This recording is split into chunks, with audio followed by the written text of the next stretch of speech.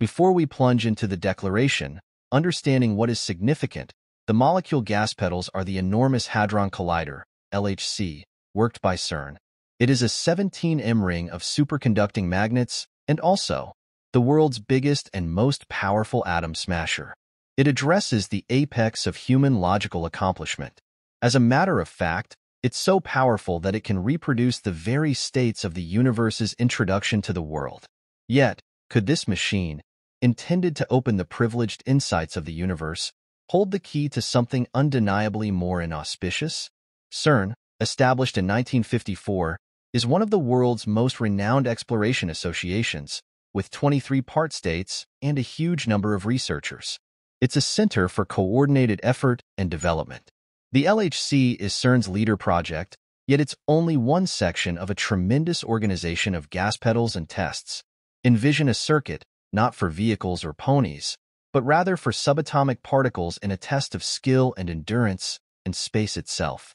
The LHC speeds up protons to almost the speed of light, sending them on a crash course that imitates the energy of the universe at that point of the Big Bang.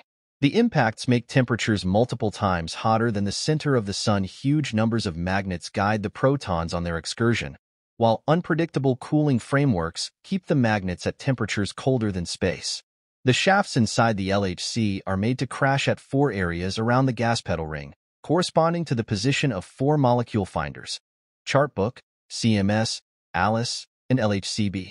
Each fills a unique need, investigating various parts of molecule material science. Together, they go about as huge cameras, catching snapshots of these crashes.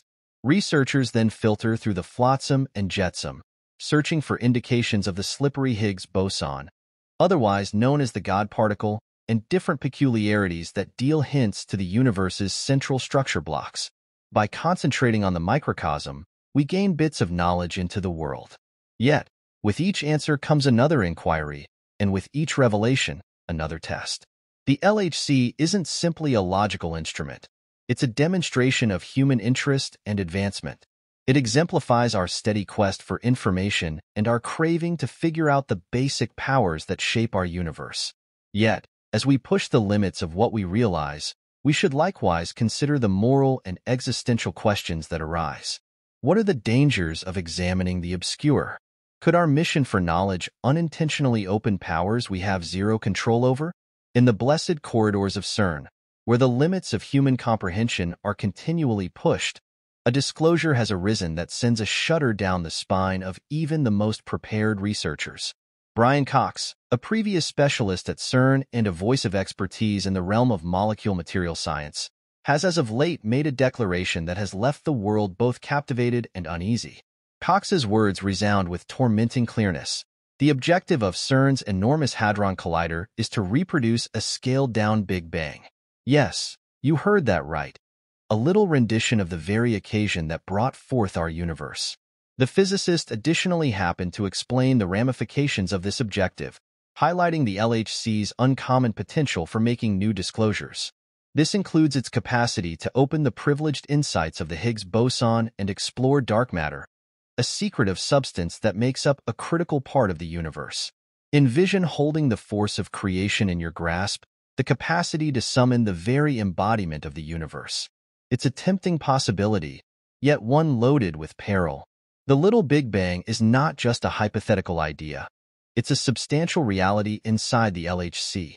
The temperatures, the tensions, the crude energy, all replicate the states of the universe's earliest stages. It's like standing at the very beginning, witnessing the introduction of existence itself. Yet, with such power comes liability, and the inquiry looms. What if something goes wrong? In fact, something did go wrong back in 1978. The Russian physicist Anat Borsky encountered a catastrophe that would forever modify the course of his life. While chipping away at the U-70 synchrotron at the Institute for High-Energy Physics in Russia, a breakdown caused his head to accidentally come into the direct path of a proton beam. The beam, with a power that defies understanding, went through his skull, entering the back of his head and leaving through his nose. Borsky's experience was powerful. He saw a streak brighter than 1,000 suns, yet had no worries. The beam's path left a trail of annihilation, burning tissue and bone, but he remained conscious and even walked to the facility for treatment. The fallout was both frightening and intriguing. The beam's path caused localized tissue death, leading to the loss of hearing in one ear and partial facial paralysis.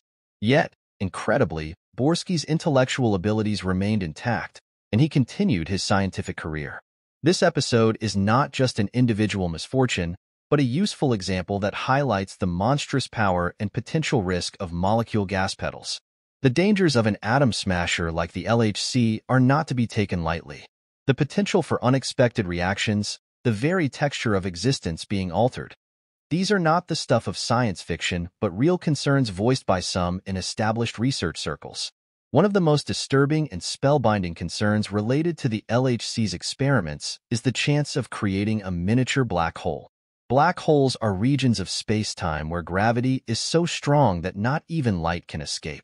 They are enormous vacuum cleaners, devourers of stars, mysterious substances that lurk in the shadows of our universe. The idea that the LHC could create such an entity, even on a tiny scale, is shocking to both the general public and scientists alike. Could this black hole ever grow uncontrollably, swallowing the Earth from the inside? However, Researchers at CERN have assured that any black hole created would be unstable and vanish almost immediately.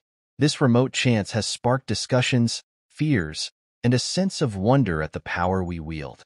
It's essential to understand how the LHC could create a black hole. It has to do with the basic mechanics of molecule gas pedals. When protons are crushed together at almost the speed of light, the energy released is tremendous to the point that it twists the fabric of space-time itself. Imagine a trampoline stretched tight, and then a significant weight is dropped onto it. The fabric bends and twists, and if the weight is heavy enough, it could create a depression so deep that anything nearby would be pulled into it. That is a simplified analogy for what could happen in the LHC, in the realm of quantum mechanics, where the rules of the universe are both strange and wonderful.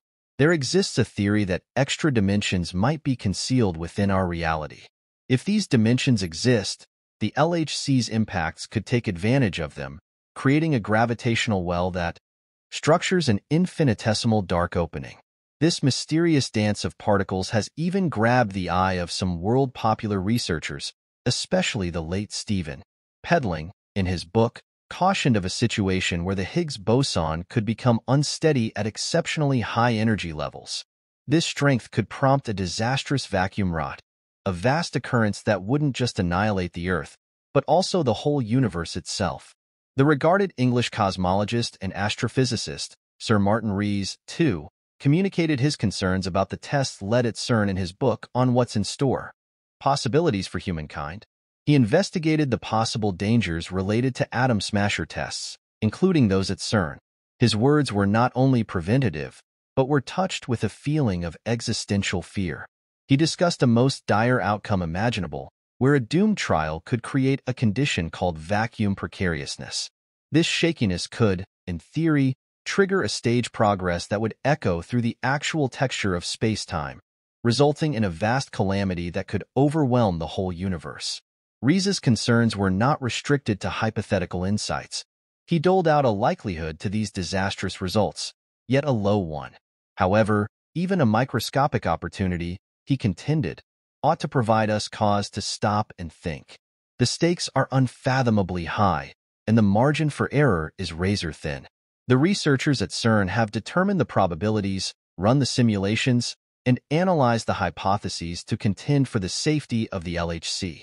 In fact, Brian Cox himself recognized the importance of responsible investigation, perceiving that there are inevitable feelings of trepidation and concerns surrounding the activities of the LHC.